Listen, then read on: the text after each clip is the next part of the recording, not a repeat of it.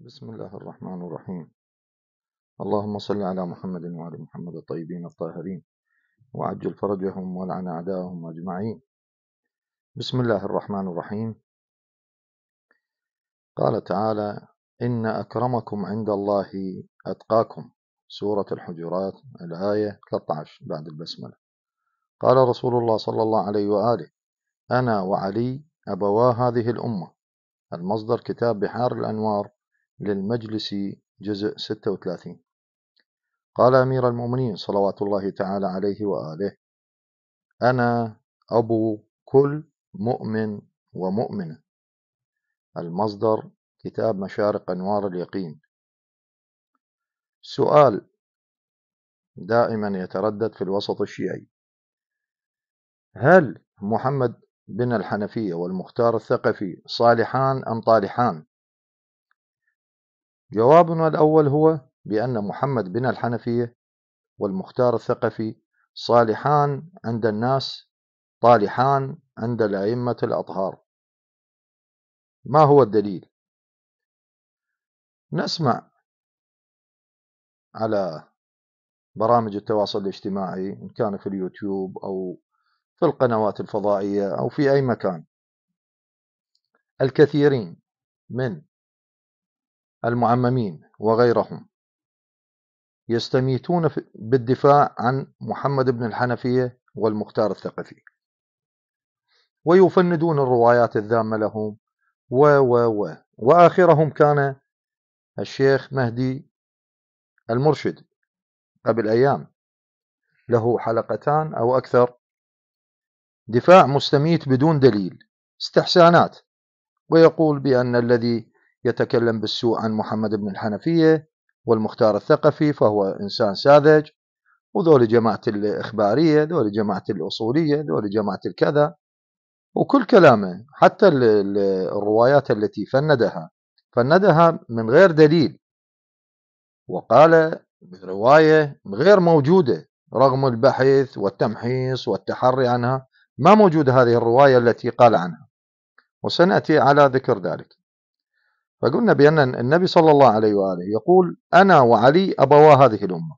وقول الأمير صلوات الله تعالى عليه أنا أبو كل مؤمن ومؤمنة. يعني الإنسان المؤمن والمؤمنة سيكون أمير المؤمنين صلوات الله تعالى عليه وآله هو أبا له.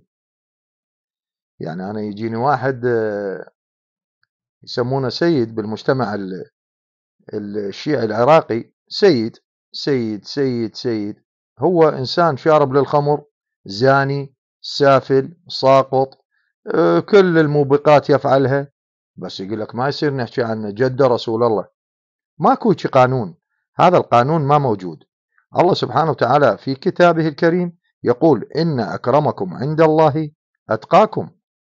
يعني الكرامة هنا الله سبحانه وتعالى جعلها للإنسان من ب... إذا عنده تقوى ما قال أبو فلان عم فلان جد فلان. يعني غير المعصوم ما إلى كرامة عندي إذا ما كان عنده تقوى. غير المعصوم من أولاد الأئمة من أحفاد الأئمة من من من من أي إنسان. نأتي إلى شخصية محمد بن الحنفية اللي انولد سنة 16 هجرية وتوفى سنة 81 هجري. الرجل هذا لا عندي عداوة شخصية وياه ولا عندي سوء تفاهم وياه ولا ولا. شخصية تاريخية لها ما لها وعليها ما عليها. لست متحمل على هاي الشخصية أو شخصية المختار الثقفي أو غيرهم. كما يظن المستمع أو كما يشاهد المشاهد. محمد بن الحنفية هو محمد بن أمير المؤمنين صلوات الله تعالى عليه وآله. على أمير المؤمنين الصلاة مو على هذا محمد. القرش الهاشمي المعروف بابن الحنفية. أمه اسمها خولة بن جعفر بن قيس الحنفية ويسمى أحيانا بمحمد الأكبر. وقد شارك في حربي الجمل وصفين نهروان ما مشارك. ليش ما نعرف؟ وكان يحمل راية أبيه في معركة الجمل وعندما أمره أمير المؤمنين صلوات الله تعالى عليه أن يعقر الجمل تقدم رشقوه بالسهام وقف في مكانه ثم رجع. فالإمام سلام الله عليه إيش قال له؟ بعد الإمام يعني ابنه مهما يكون ابنه هو. هو يجي من بعد الإمام الحسن والحسين كما يسميه المرشد. هذا مهدي المرشد يقول الصبط شلون صبط ثالث الصبط شلون يعني؟ أنت منين تجيب الصبط؟ ماكو حكي الأصباط كلهم يرجعون أمهم فاطمة صلوات الله تعالى عليهم عليها وعليهم جميعا. فقال له من رجع بعد الإمام؟ لازم يعني ابنه مهما كان ورشقوه بالسهام رادوا يقتلونه. بس قال له؟ يا ابن اللخناء اللخناء المرأة القذرة التي لا تغتسل من قذارة أو جنابة أو كذا. يا ابن اللخناء لا أم لك. هذا عرق أخوالك هذا مو عرقي. أين الحسن؟ قال لبيك يا أمير المؤمنين. قال عقر الجمل. دخل الإمام عقر وسالفة طويلة حكيناها في يوم من الأيام وإن شاء الله نعيدها. وهو لم يذهب مع الإمام الحسين صلوات الله تعالى عليه في يوم عاشوراء وبقي في المدينة. قيل إنه ادعى الإمامة بعد أخيه الحسين صلوات الله تعالى عليه وآله ولكنه تراجع عن ذلك بعد شهادة الحجر الأسود أو الحجر الأسعد بإمامة ابن أخيه الإمام السجاد صلوات الله تعالى عليه وآله. ونسبت الكيسانية نفسها هاي الكيسانية دين طلعوا ذاك الزمن نفسها إليه كإمام لها ويظهر من رسالة له للمختار الثقفي إن الكيسانية استطاعت تخليصه من يد عبد الله بن الزبير حينما حبسه في زمزم وهدد بإحراقه وإحراق من معه. وهو أول من لقب بالمهدي الموعود لقبوه جماعته بين أنت محمد المهدي. اعتمد محمد بن الحنفية سياسة المسالمة والابتعاد عن الخوض في الصراعات السياسية. وجه التسمية بابن الحنفية عرف محمد بن الحنفية نسبة إلى أمه خولة الحنفية هاي اللخناء قيل إن بني أسد أغارت على بني حنيفة أيام أو حنيفة حنيفة أيام أبي بكر لعنة الله تعالى عليه. فسبوا خولة جابوها سبية وباعوها من علي بن أبي طالب صلوات الله تعالى عليهم. فبلغ قومها خبرها فجاءوا إلى أمير المؤمنين صلوات الله تعالى عليه وآله فعرفوه إنها ابنتهم فاعتقها وأمهرها وتزوجها. عن سلمان المحمدي رحمه الله تعالى قال إن مولانا أمير المؤمنين صلوات الله تعالى عليه دخل على الحنفية هاي خولة. ذات يوم فقامت إليه وقالت يا مولاي أشتهي ولد يكون خلفا من بعدي. قال فأمر أمير المؤمنين صلوات الله فأمر أمير المؤمنين صلوات الله تعالى عليه وآله يده على كتفها وقال احملي محمدا. فحملت. ثم قال لها ضعي محمدا. فوضعت بأسرع من طرفة عين. نفس اللحظة. حملت ونزلت الطفل جابته. أي أن الإمام أمير المؤمنين صلوات الله تعالى عليه وآله لم يلمسها. المصدر كتاب المناقب للعلوي. بس يجيك واحد يقول لك هاي من باب المعجزة من باب الكرامة من باب الكذا. إحنا ما نشوفها كرامة نشوف بين هاي المرأة. ما راد الإمام أن تكون له زوجة حقيقية. قالت لا أريد طفل وهاي ما عندي وشلون وهاي؟ كذا. هسه تريد تسويها معجزة؟ عادي براحتك سويها معجزة. راح نشوف هذا المعجزة سوى بعدين. وندعو الأوساط الشيعية إلى عدم التلوث بالمرض البكري من تقديسهم للشخصيات التاريخية. لا يصيرون مثل البكرية. ونقله إلى وسطنا الشيعي داعيا في ذات الوقت إلى أعمال. مزيدا من التحقيق والبحث بعمق وعدم التشبث ببعض الروايات التي ظاهرها مدح لتلك الشخصيات. ابحث يا أخي ابحث. وإن هنالك أصواتا تتعالى من هذا الطرف أو ذاك وتنكر علينا حين ندين شخصيات تعد من قرابة أهل البيت صلوات الله تعالى عليهم. ونراه ونراها بحسب الأدلة مرفوضة. طالبين منا أن نحترم هذه الشخصيات إكراما لأهل البيت صلوات الله تعالى عليه. ما نحترم إحنا أي شخصية طالحة. لو مو من أقارب أهل ما نحترمهم. إنسان طالح ليش أحترمه؟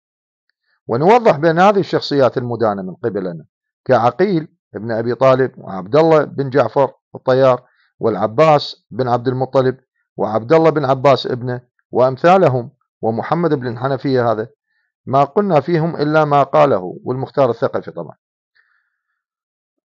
ما قلنا فيهم إلا ما قاله أئمتنا صلوات الله تعالى عليهم وما عدونا قولهم.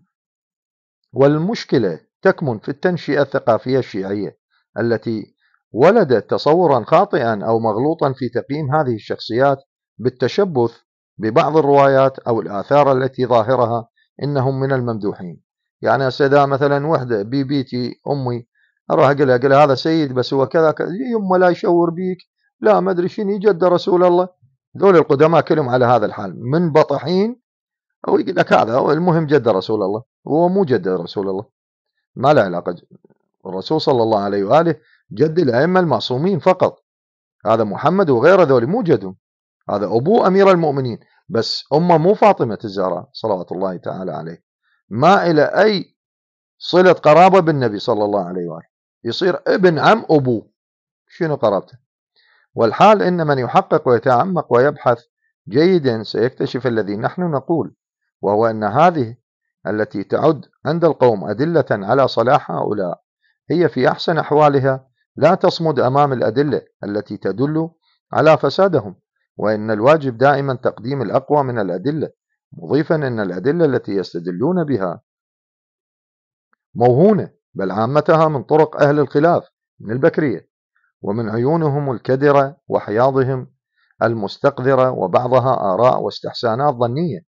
أو يذكر رواية وينسبها إلى أحد الأئمة كذبا أو يذكر رواية غير موجودة في الكتب مثل مهدي المرشد من ذكر رواية من كتب الشيعة الثقة مثل مهدي المرشد حين قال بأن الإمام الحسين صلوات الله تعالى عليه وآله أوصى لمحمد بن الحنفية بأن يدعي الإمامة حفاظا على الإمام السجاد صلوات الله تعالى عليه وآله من أن يقتلوه بني أمية. وقال إن الرواية موجودة في كتاب الهداية الكبرى للخصيبي. وبعد بحثنا طويل لم نجد هذه الرواية وهو مجرد استحسانات من القائل. ويقال أيضا في الساحة الشيعية بأن ابن الحنفية ادعى الإمامة لكي يبين إمامة الإمام السجاد. وذلك ما حصل من نطق من نطق الحجر الأسود ببيان إمامة الإمام السجاد صلوات الله تعالى عليه. أي اتفاق بينهم على أساس يعني بأن الإمام الحسين عليه السلام صلوات الله تعالى عليه وآله قال للأخو هذا محمد بن الحنفية قال أنا من روحان ويرجع الإمام أنت ادعي الإمامة وبعدين روحوا يم الحجر ونشوف الحجر يا اللي يشهد له. يشهد للإمام خاطر تبين للناس بأن الإمام ماكو شي فيلم عندي. هاي تجاوز على الإمامة والإمام المعصوم. ما يعني أنتم شلون فريتوها الفرة هاي؟ أنت مهدي المرشد منين جبت هاي الرواية؟ ما إلها وجود.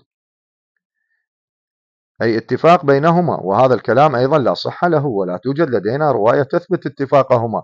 وهذا الكلام يناقض قول رسول الله صلى الله عليه وآله ببيان الأئمة وأسمائهم وذلك عن المفضل عن يونس بن ظبيان عن جابر الجعفي. قال سمعت جابر بن عبد الله الأنصاري يقول لما أنزل الله عز وجل على نبيه يا أيها الذين آمنوا أطيعوا الله وأطيعوا الرسول وأولي الأمر منكم.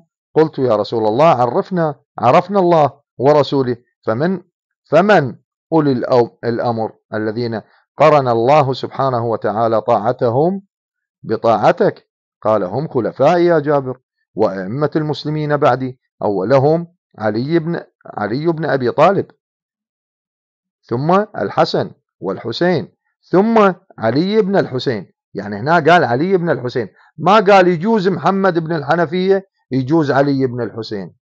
ما قال. ثم علي بن الحسين ثم محمد بن علي المعروف في التوراة بالباقر وستدركه يا جابر فإذا لقيته فاقرؤه مني السلام ثم الصادق جعفر بن محمد ثم موسى بن جعفر ثم علي بن موسى ثم محمد بن علي ثم علي بن محمد ثم الحسن بن علي ثم سمي وكني حجة الله في أرضه وبقيته في عباده ابن الحسن بن علي.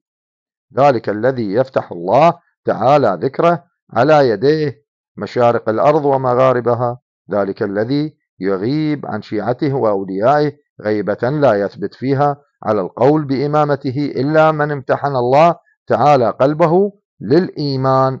المصدر للكلام كتاب بحار الأنوار للمجلسي جزء 36 هاي رواية مفصلة عن النبي صلى الله عليه وآله. بالأسماء من أم الأئمة من بعدي. فأنت جاي يا مهدي المرشد وغيرك حتى الغزي يقول على هذا الموال بأن كذا وهذا وكذا وراحة ومحمد بن الحنفية والنعم منه وسلام الله عليه والمختار والنعم منه وما اختضبت هاشمية إلا من بعد المختار ما قتل قتلت الإمام. من التمثلت هذا؟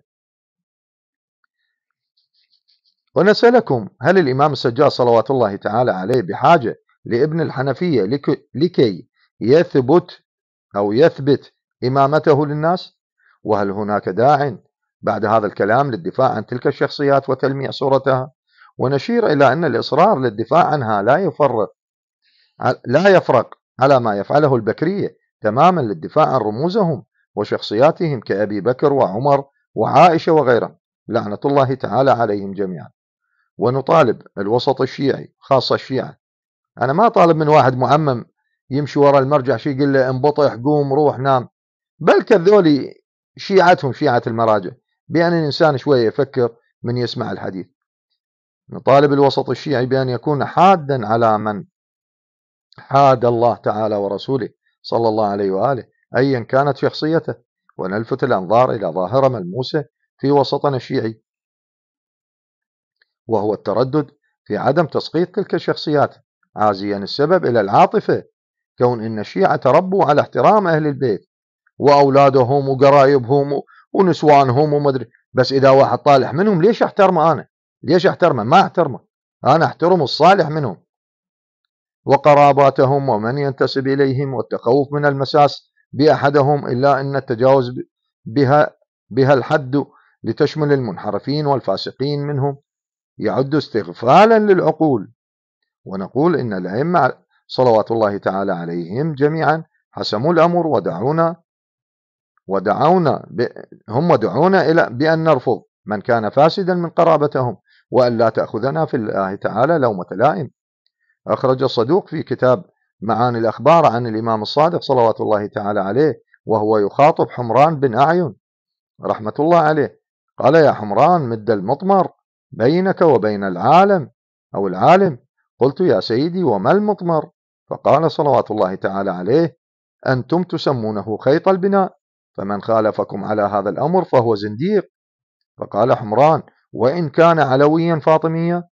فقال صلوات الله تعالى عليه وآله وآله صلوات الله تعالى عليه وإن كان محمديا علويا فاطميا. ونؤكد بأن الإمام الحسين صلوات الله تعالى عليه وآله كان مبتليا ببعض إخوانه ممن كانوا ضعافا أمام الشيطان ومغريات الدنيا ومباهجها وقد مثلوا أو مثلوا في كثير من الأحيان قلقا متواصلا للإمام الحسين صلوات الله تعالى عليه والأئمة صلوات الله تعالى عليهم. ونضرب مثلا بعبد الله بن الإمام جعفر الصادق. هذا عبد الله بن جعفر والإخوة الإمام الحسين مثل هذا عمرو أو عمر وهذا محمد بن الحنفية وغيرهم ذاك اللي دعا الإمام للخروج معه إلى كربلاء وما خرج. وهذا محمد بن الحنفية كان عنده 11 ولد أو 14 ولد. هسه نقول 11 ولد ال 11 ما طلعت منهم واحد. هسه هذا عبد الله بن جعفر الطيار طلع أولاده اثنينهم. وزوجته سيدة زينب صلوات الله تعالى عليه. يعني أولاده اثنينهم استشهدوا. بيها باب وجواب هسه هو جبان مو مشكلة. هو يحب الدنيا. أنا ما أقول جبان لأن أولاد أبو طالب كلهم شجعان لكن حب الدنيا اللي كاتلهم. ونضرب مثلا بعبد الله بن الإمام جعفر الصادق. صلوات الله تعالى عليه على الإمام الصادق الذي ادعى الإمامة وقد قال الأئمة عليهم السلام فيه يريد عبد الله أن لا يعبد الله وغيره مثل محمد بن الحنفية بن أمير المؤمنين. صلوات الله تعالى على أمير المؤمنين وآله.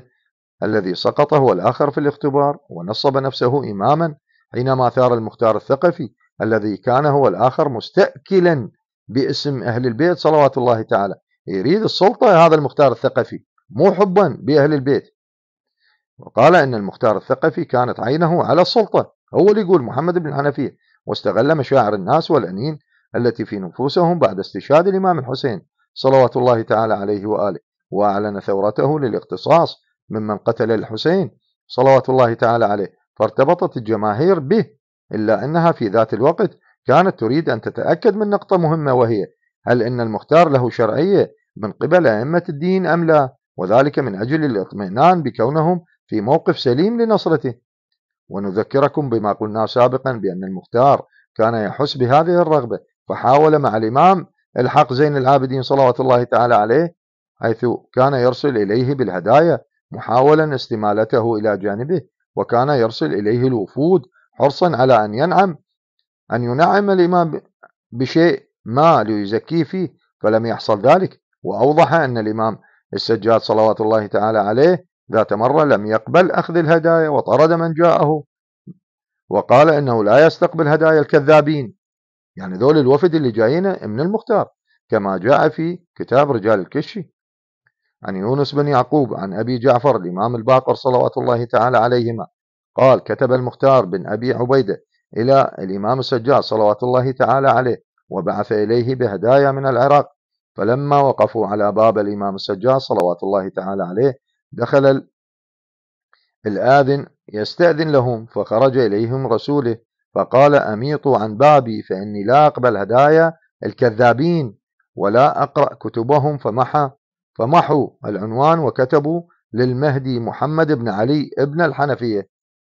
فقال الإمام الباقر صلوات الله تعالى والله لقد كتب إليه بكتاب ما أعطاه فيه شيئا إنما كتب إليه يا ابن خير من طش ومشى فقال أبو بصير لأبي للإمام الباقر صلوات الله تعالى عليه أما المشي فأنا أعرفه فأي شيء الطشي؟ فقال الحياة وأن المختار قام بتوجيه تلك الرسالة إلى محمد بن الحنفية بعد محوهم لاسم الإمام مسح منا قال هي نفس الرسالة مسحوها كتبوا له.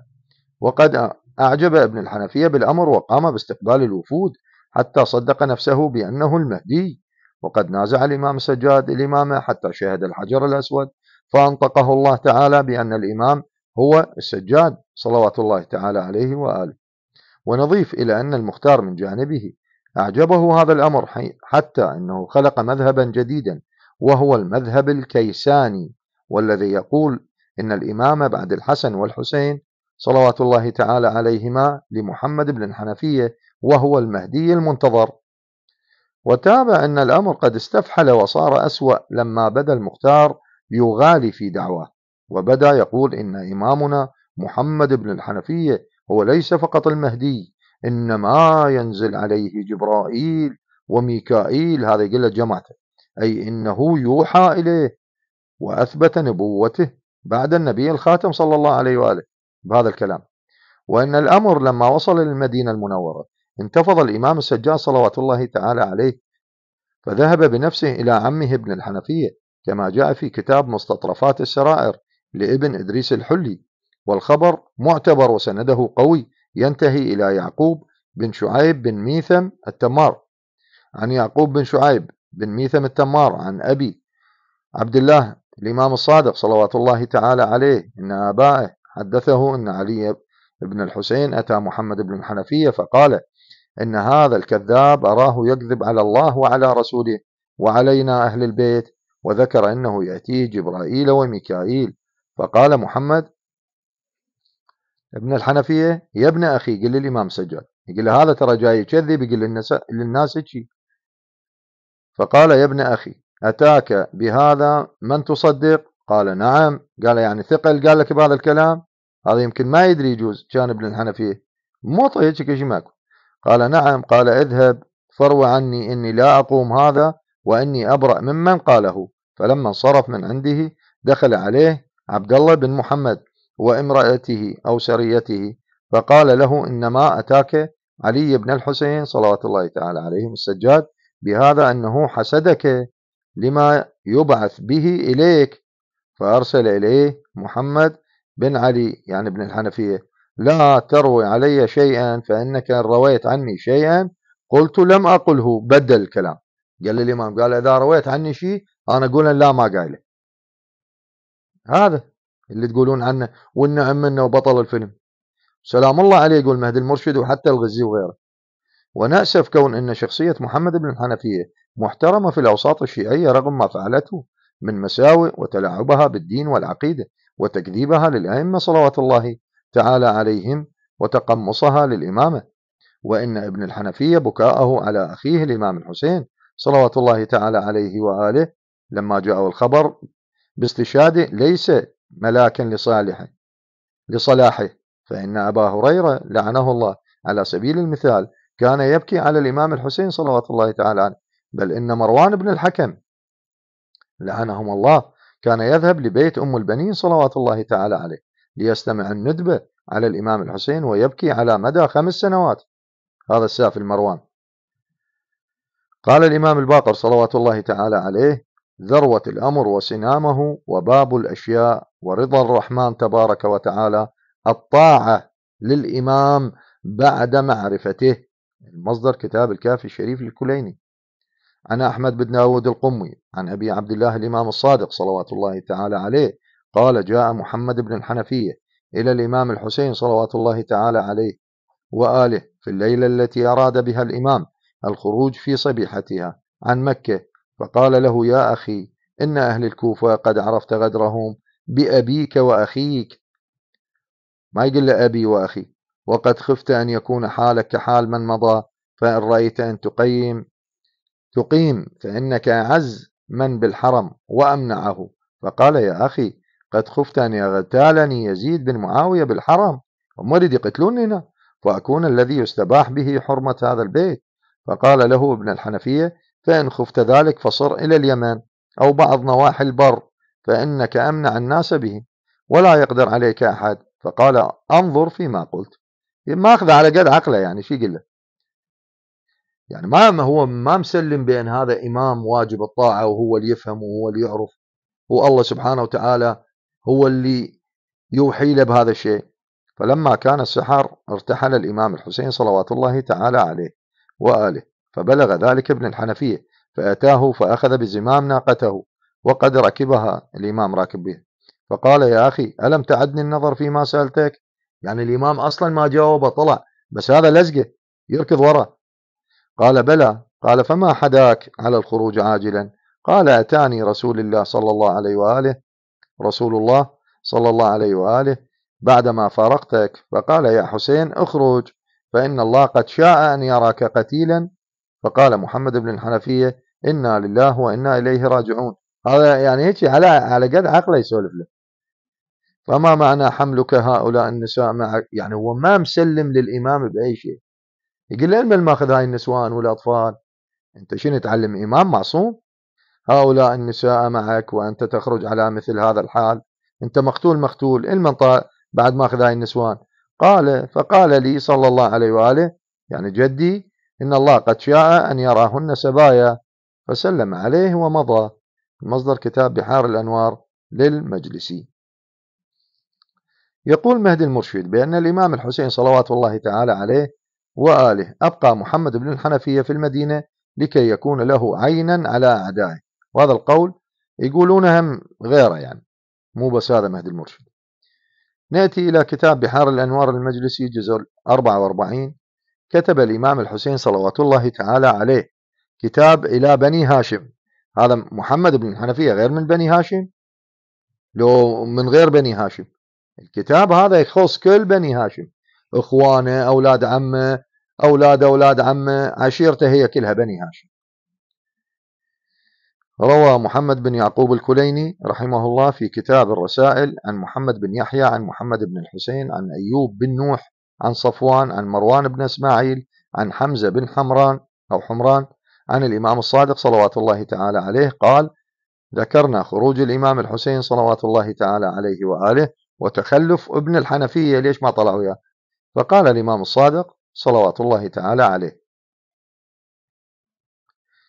يا حمزة إني سأخبرك بحديث لا تسأل عنه بعد مجلسك هذا. إن الإمام الحسين صلوات الله تعالى عليه وآله لما فصل متوجها دعا بقرطاس وكتب وكتب فيه. بسم الله يعني ورقة قال انطوني ورقة خلنا نكتب جلد يعني.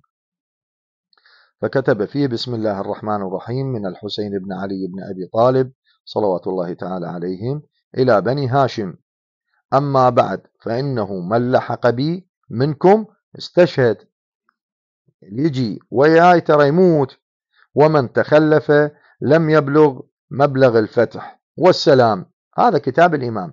قال له أنت كذا ظل مكاني دير بالك على المدرياهو نازع الإمام السجاد بالإمامة سووا كذا وسووا كذا. كل كلام مهدي المرشد وغيره ما بأي دليل. هاي مثل تصفيتهم على زيارة الأربعين.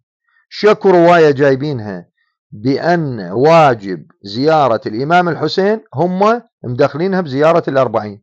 ما له علاقة زيارة الأربعين يا أخي. الواجب علينا زيارة الحسين. ليش بالأربعين؟ ليش مو بالخمسين؟ ليش مو بالستين؟ ليش مو بالسبعين؟ روايات نزلنا روايات و و و أمور كثيرة بأن القافلة الحسينية رجعت من الشام وصلت إلى كربلاء يوم الستين أو يوم السبعين أو يوم الثمانين. ما رجعوا يوم الأربعين. وأنتم متشلبين. الأربعينية المقدسة والأربعينية المدري شنو والأربعينية بابا إحنا ما عندنا ما عندنا آه اختلاف بالرجوع لكن مو يوم الأربعين. سويها الستينية سويها الثمانينية الحقيقة هي الثمانينية. وإذا كلش مو يعني الستينية. ما رجعوا بأربعين يوم. قوة. هسه مثل هاي هم قوة. قال له هو وصاه هو. هذا كتاب الإمام السجاد الإمام الحسين عليه السلام. شو يقول للبني هاشم؟ أما بعد فإنه من لحق بي منكم استشهد. ترى تموتون. اللي يريد يجي شهادة. ومن تخلف لم يبلغ مبلغ الفتح. والسلام. ترى الباقي الله يطيح حظه. قال الإمام الصادق صلوات الله تعالى عليه. وهو يخاطب حمران بن عيان. يا حمران مد المطمر بينك وبين العالم. هاي ذكرنا الرواية. هي مصدرها كتاب معاني الأخبار. للصدوق. قال له ماكو مد المطمر. الدين اللي عندك أنت أفضل من هواي ناس تدعي نسبتها إلى رسول الله. قال له زين مولاي. يقول له هذا اللي يخالفك على الدين اللي تعلمته مني. من خالفكم على هذا الأمر فهو زنديق يعني كافر. فقال حمران وإن كان علويا فاطميا يعني ذا سيد. قال إن كان محمديا علويا فاطميا. مصدر معاني الأخبار للصدوق حدثنا أحمد بن محمد ومحمد بن الحسين عن الحسن بن محبوب عن علي بن رياب عن أبي عبد الله عليه صلوات الله تعالى عليه وزرارة عن أبي جعفر الإمام الباقر صلوات الله تعالى عليهما. قال لما قتل الحسين أرسل محمد بن الحنفية إلى علي بن الحسين الإمام السجاد صلوات الله تعالى عليه فخلى به أنا أريد المرشد يسمعني وغيره. يقول هنا فخلى به يعني بس هو وياه. ماكو أحد ثاني على مود خاف يعني هاي تمثيلية قدام الناس وقدام. يقول فخلى به. ثم قال له يا ابن أخي قد علمت أن رسول الله صلى الله عليه وآله كان قد جعل الوصية والإمامة من بعده إلى علي بن أبي طالب. يعني ما يقول له أبي إلى علي بن أبي طالب صلوات الله تعالى عليه. ثم إلى الحسن ثم إلى الحسين صلوات الله تعالى عليهم.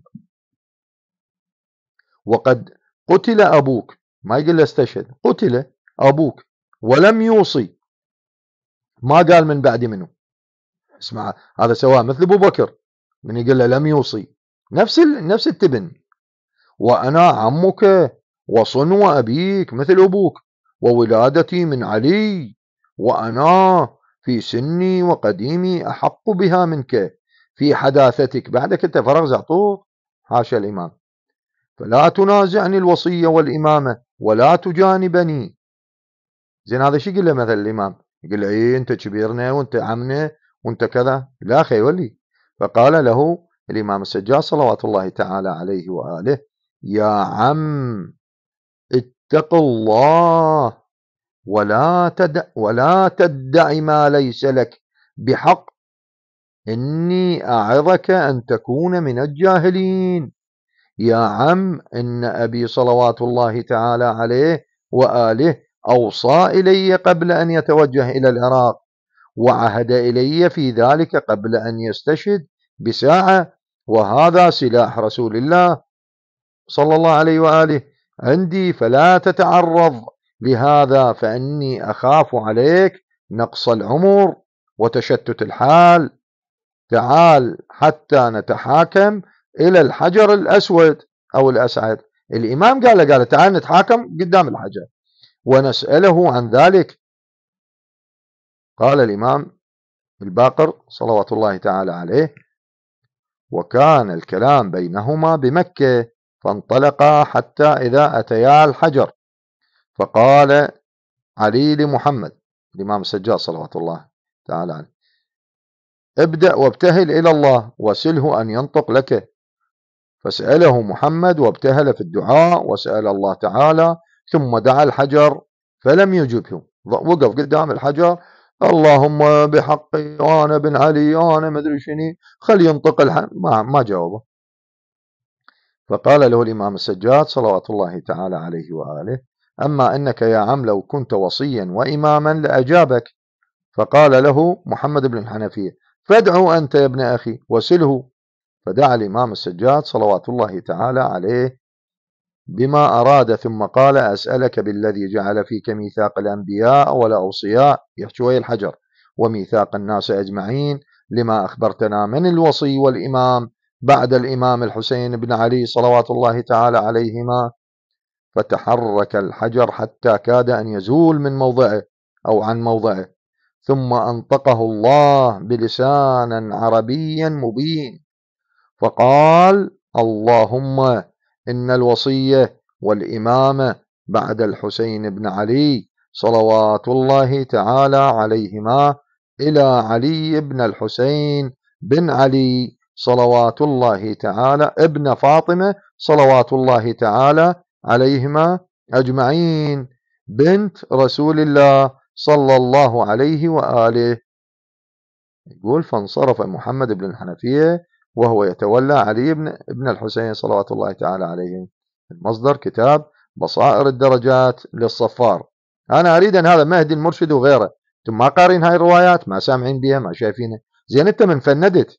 فندت على يا أساس؟ على استحساناتك؟ على عقلك؟ على ثقافتك؟ على شنو؟ أنت ما عندك أي دليل على الكلام. أي دليل ما عندك. هذا ساذج وذاك اللي يقول هيجي وصلوات الله عليه وسلام الله عليه والمختار والنعم منه وذاك ما أدري شنو. شنو الكلام هذا التافه. قال الإمام الصادق صلوات الله تعالى عليه من ادعى الإمامة وليس من أهلها فهو كافر. هذا مدعي للإمامة فهو كافر. بعدين تاب مو مشكلة. مصدر كتاب الكافي الشريف للكليني. عن سورة بن كليب. قال قلت للإمام الباقر صلوات الله تعالى عليه ما قول الله عز وجل ويوم القيمة ترى الذين كذبوا على كذبوا على الله وجوههم مسودة؟ فقال الإمام الباقر صلوات الله تعالى عليه من قال إني إمام وليس بإمام. هاي وجوههم مسودة يوم القيامة. قلت وإن كان علويا؟ قال الإمام الباقر صلوات الله تعالى وإن كان علويا.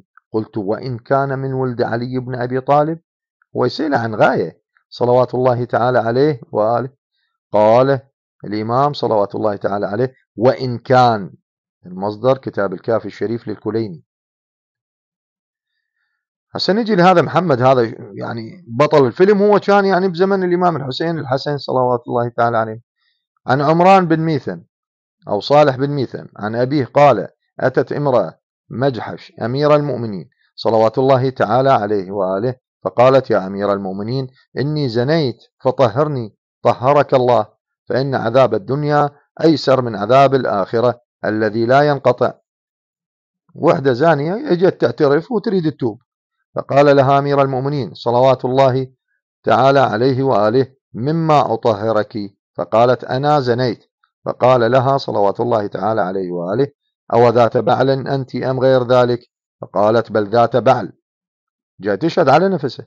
فقال لها صلوات الله تعالى عليه وآله أفحاضرا كان بعلك؟ إذا فعلت ما فعلت أم غائبا كان عنك؟ فقالت بل حاضرا. فقال لها صلوات الله تعالى عليه وآله انطلقي فضعي ما في بطنك ثم ائتني أطهرك. كانت حامل. قالها جيبي وكملي وبعدين تعالي لي. فلما ولدت أو لما ولت عنه المرأة فصارت حيث لا تسمع كلامه قال اللهم إنها شهادة فلم يلبث أن أتته. فقالت قد وضعت فطهرني. فتجاهل عليها يعني وراء ما جابت. فتجاهل عليها صلوات الله. ما يريد يقيم عليها الحد وهي مشلبة. يا أخي توبي بينك وبين الله. أنت توبي توبة نصوحة. فقال أطهرك يا أمة الله من ماذا؟ قالت إني زنيت فطهرني.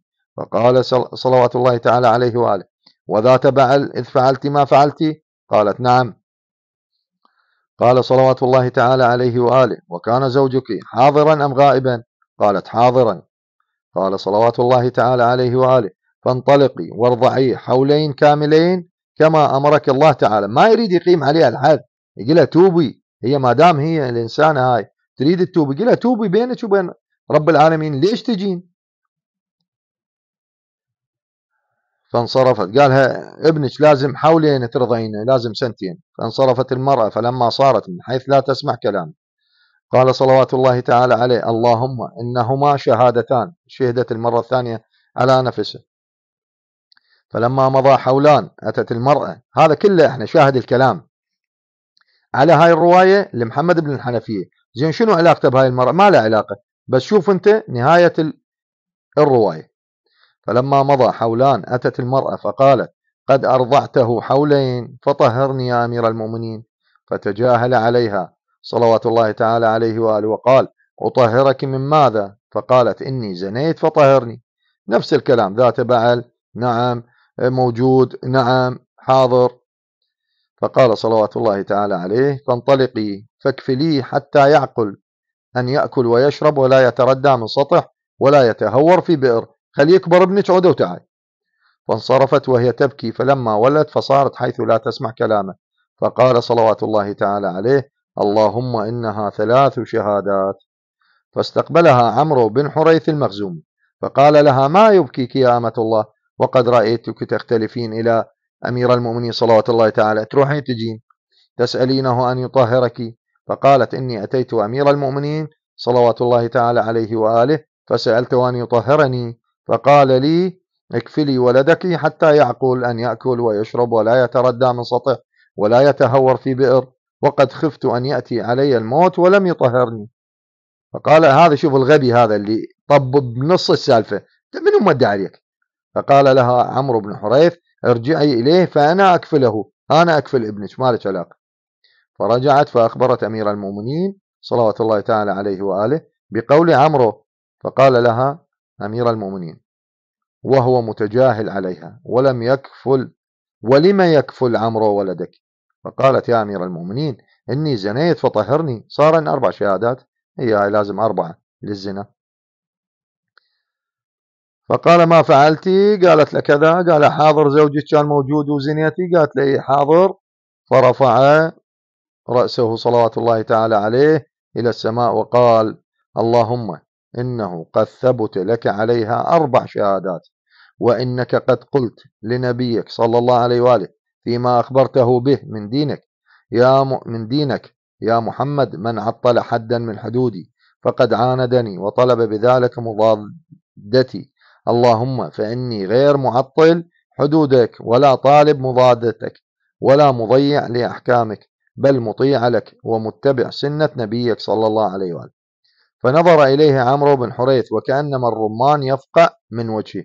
فلما رأى ذلك صار وجه أحمر الإمام يعني تعصب على هذا عمرو.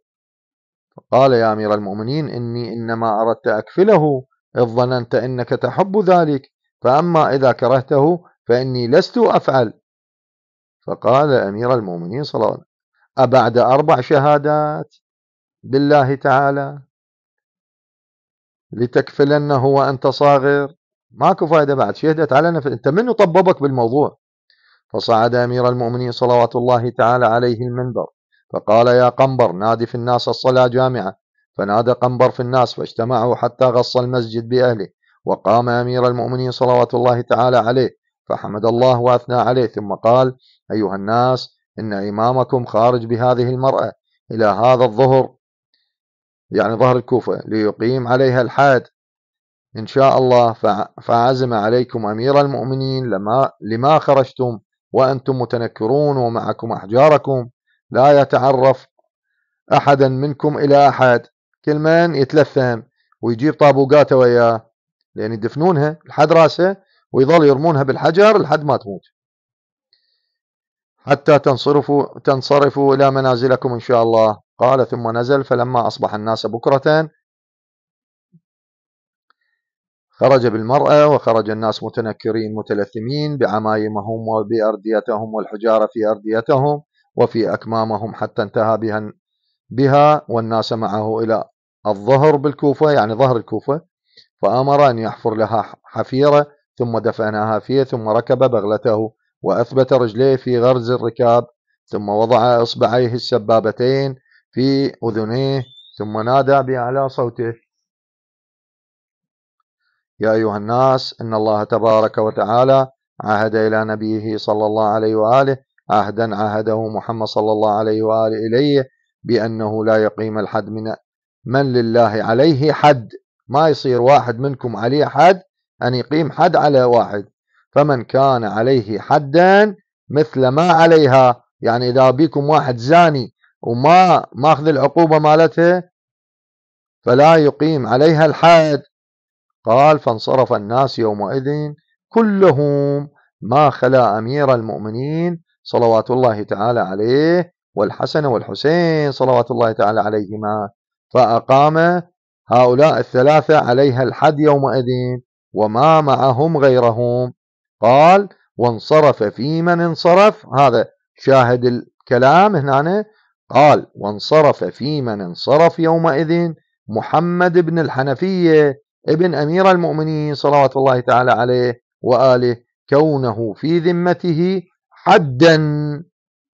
المصدر كتاب الكافي الشريف للكليني الجزء السابع.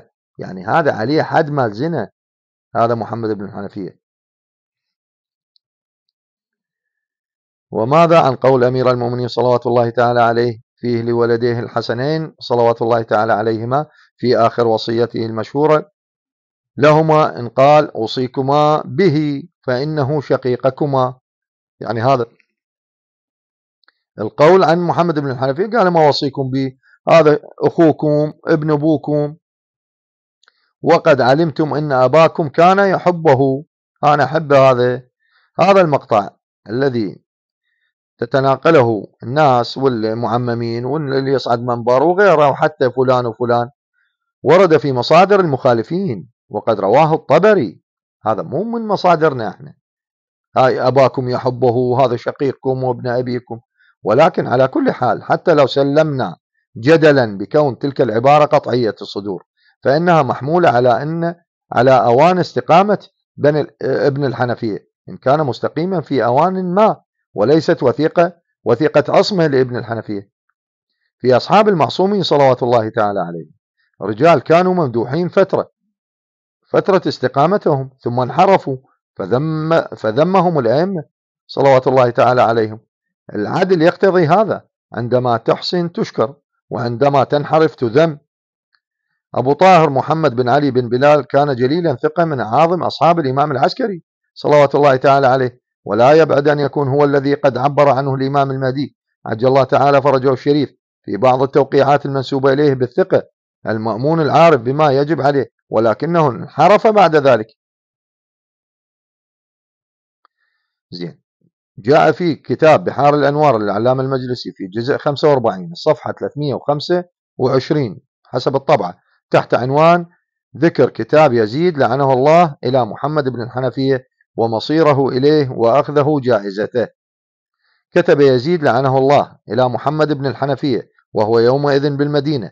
أما بعد فإني أسأل الله لنا ولك عملا صالحا يرضى به عنا فإني ما أعرف اليوم في بني هاشم رجلا هو أرجح منك حلما وعلما ولا أحضر فهما فهما وحكما ولا أبعد من كل سفه سف ودنس وطيش وليس من يتخلق بالخير تخلقا وينتحل الفضل تنحلا كمن جبله الله على الخير جبلا. وقد عرفنا ذلك منك قديما وحديثا شاهدا وغائبا غير إني قد أحببت زيارتك والأخذ بالحظ من رؤيتك. فإن نظرت في كتابي هذا فأقبل إلي آمنا مطمئنا. أرشدك الله أمرك وغفر لك ذنبك. والسلام عليك ورحمة الله وبركاته. هذا يزيد كتب هذا قال له أنت الفاهم العاقل أنت كبير إخوانك أنت أنت أنت أنت من يجي كتابي أريدك تجيني وأمن ما أسوي لك شيء لا تخاف. قال فلما ورد الكتاب على محمد ابن الحنفية وقرأه أقبل على ابنيه جعفر وعبد الله. فاستشارهما في ذلك فقال له ابنه عبد الله يا أبا اتق الله في نفسك ولا تصر إليه فإني خائف أن يلحقك بأخيك الحسين. هم عندهم الإمام الحسين هيك يعني عادي صلوات الله تعالى عليه. أخوك لا يقتلك مثل أخوك الحسين ولا يبالي. فقال محمد يا بني ولكني لا أخاف ذلك منه.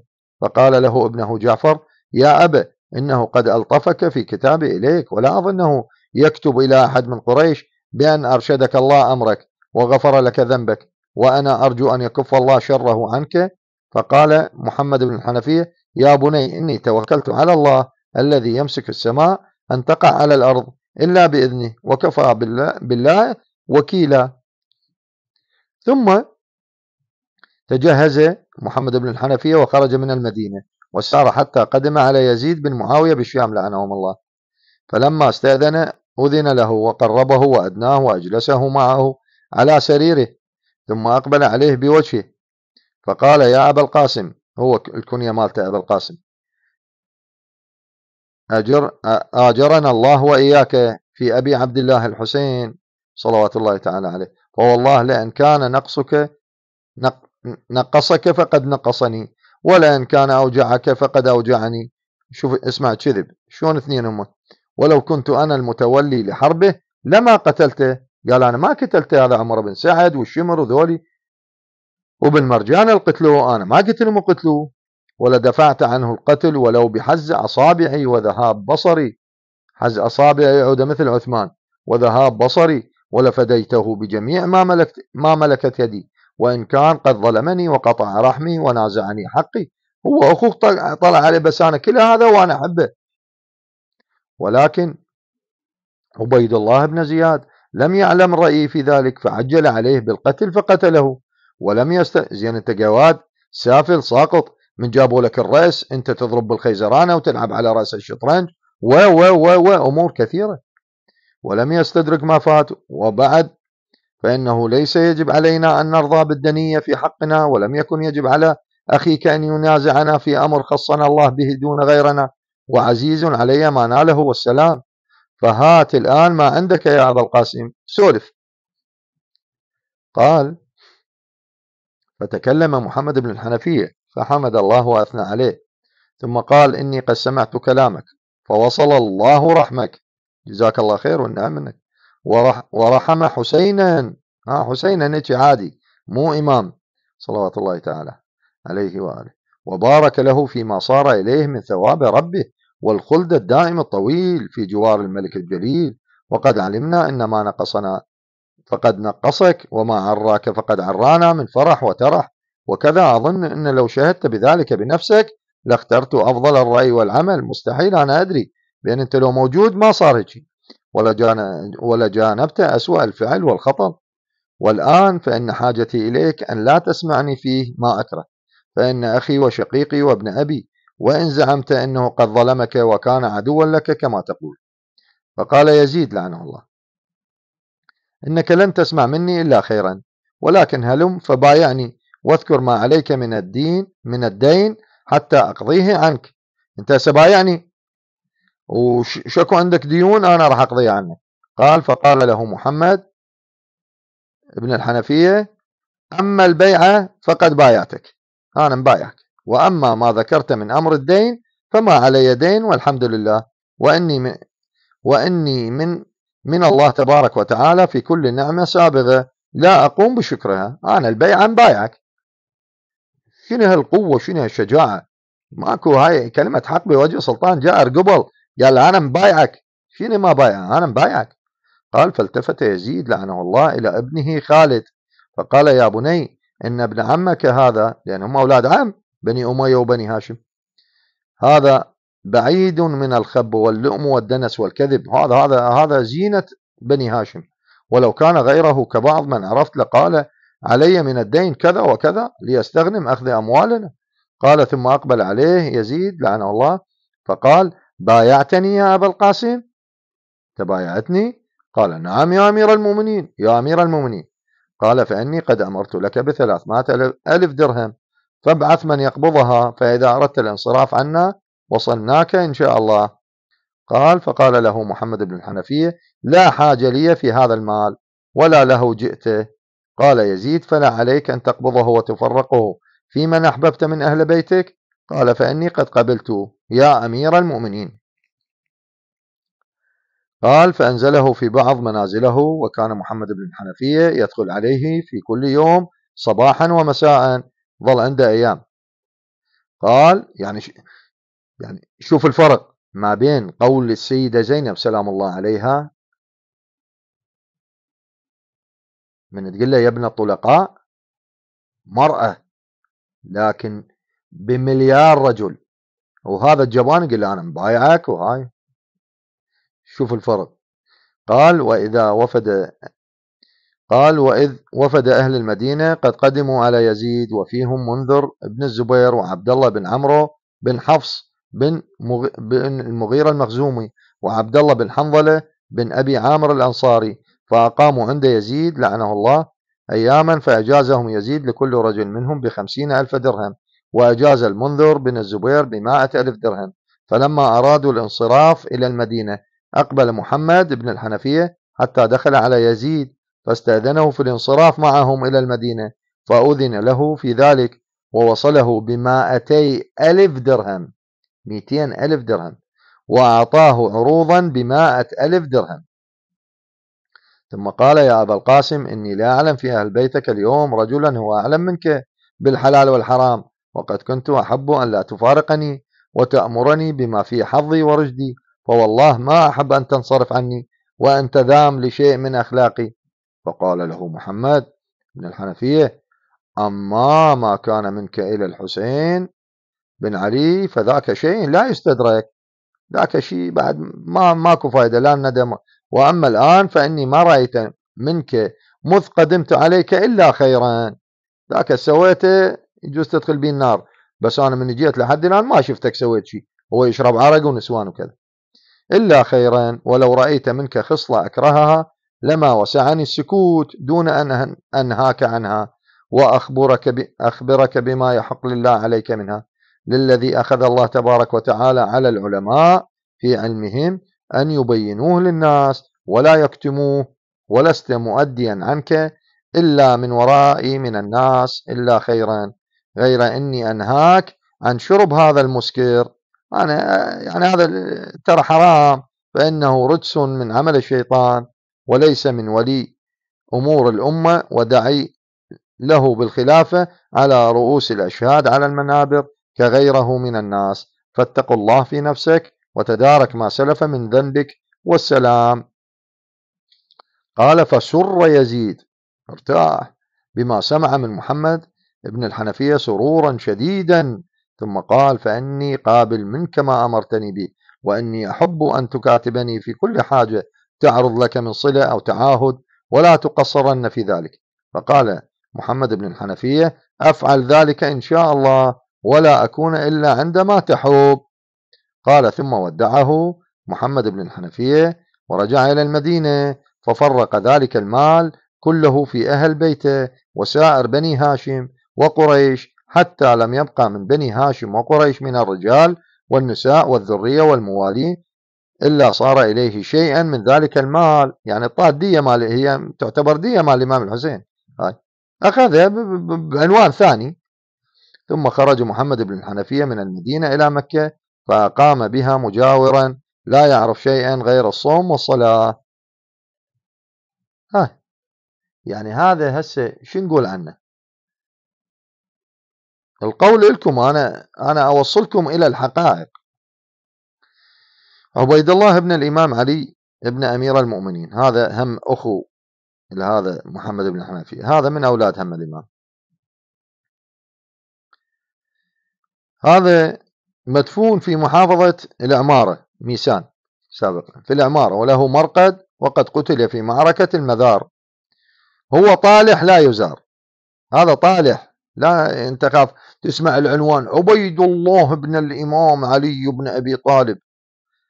هذا إنسان طالح لا يزار قد دعا عليه الإمام أمير المؤمنين صلوات الله تعالى عليه فكان من سوء عاقبته إنه قتل في ولاء موالي لمصعب ابن الزبير ومصعب هو اللي قتل المختار.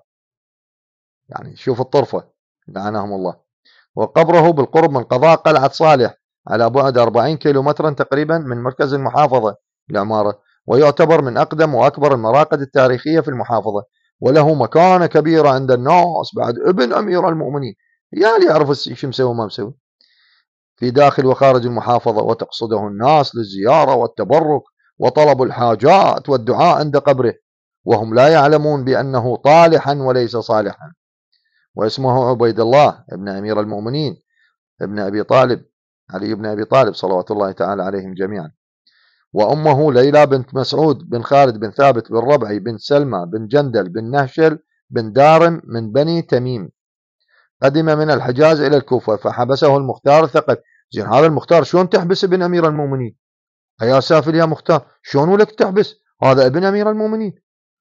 لأن كان يوالي مصعب بن الزبير ثم أطلقه فرحل إلى مصعب بن الزبير عامل أخيه عبد الله على العراق وأكرمه.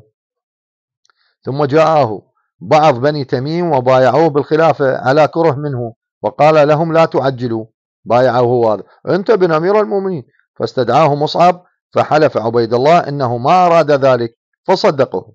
ثم اشترك مع جيش مصعب في وقعة المذار ضد المختار وقاتل المختار الثقفي فقتل فقتل عبيد الله في تلك المعركة يعني القتل المختار. هذا المختار قاتل ابن أمير المؤمنين. يلا سبوا المختار. يلا لعنوه لأن قتل ابن أمير المؤمنين.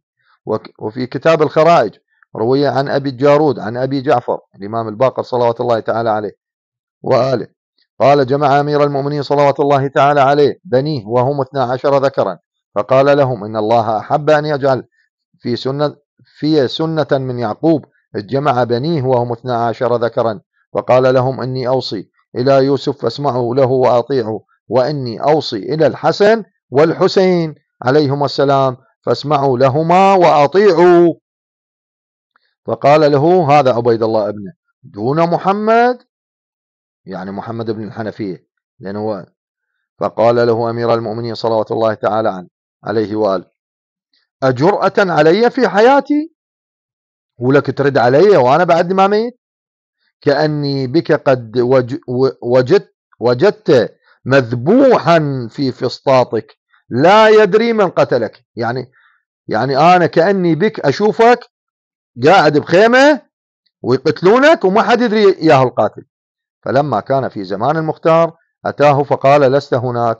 فغضب فذهب إلى مصعب بن الزبير وهو بالبصرة فقال ولني قتال أهل الكوفة. فكان على مقدمة مصعب فالتقوا بحروراء فلما حجز الليل بينهم أصبحوا وقد وجدوه مذبوحا في فسطاطه يعني الخيمة. لا يدرى من قتله أو لا يدري من قتله.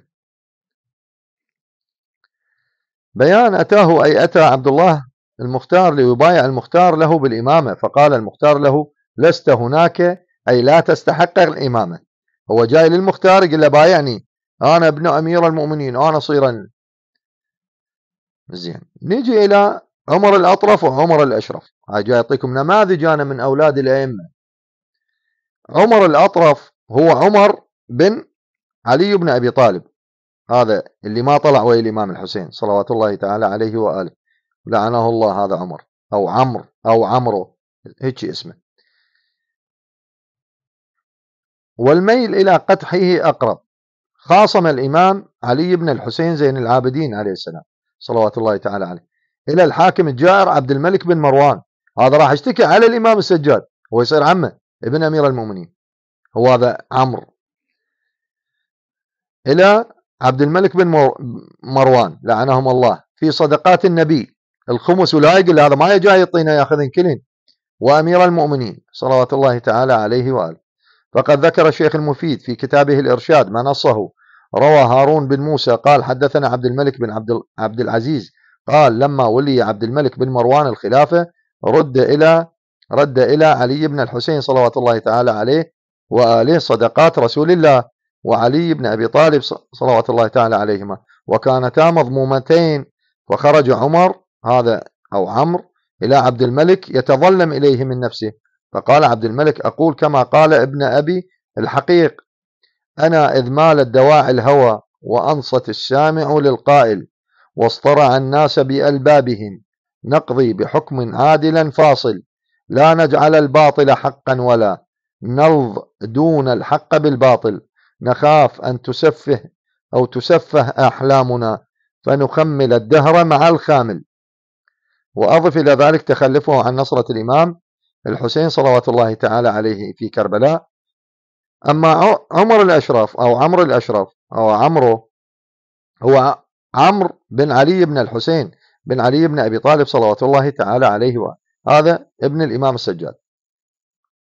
وهو من أصحاب الإمام أبي جعفر الباقر صلوات الله تعالى عليه ومن أصحاب الإمام الصادق صلوات الله تعالى عليه. قال عنه الشيخ المفيد وكان عمرو بن علي بن الحسين فاضلا جليلا وولي صدقات رسول الله صلى الله عليه وآله وصدقات أمير المؤمنين صلوات الله تعالى عليهما وكان ورعا سخيا.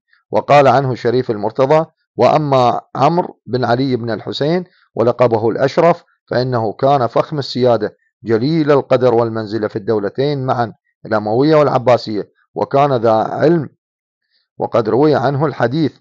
وبعد عجز المخالفين عن إثبات صلاح رموزهم كأبي بكر وعمر وعثمان لعنهم الله أمسوا يتشبثون كثيرا بشبهة تسمية الأئمة صلوات الله تعالى عليهم جميعا أبناءهم بأسماء كعمر وعثمان حبا بعمر بن الخطاب وعثمان بن عفان. لعنهم الله.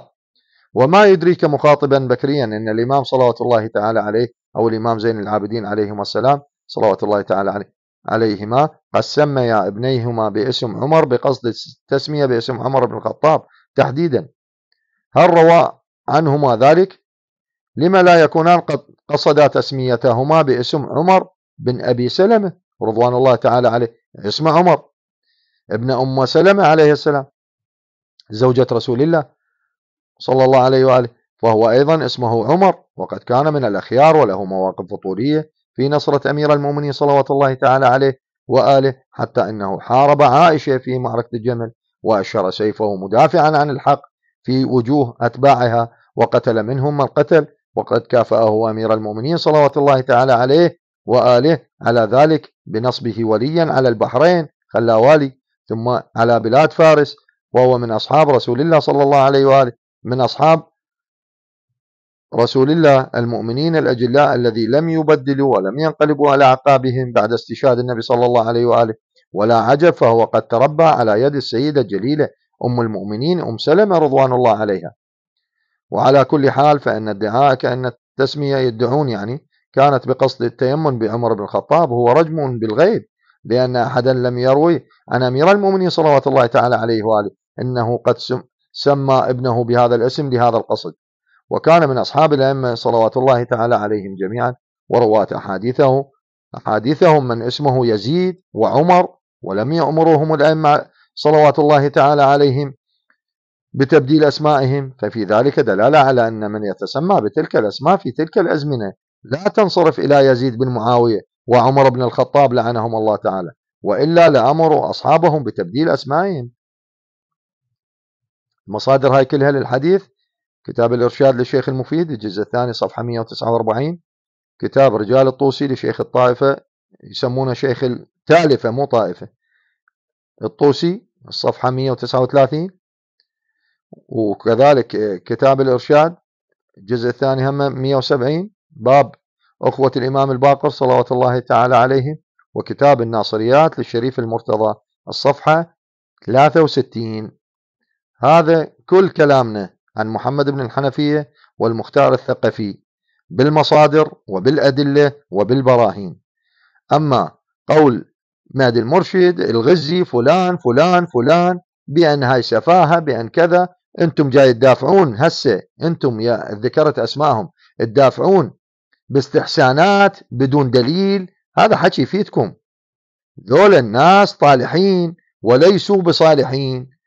وردها علي إن استطعت. هذا الكلام موجه لكل واحد.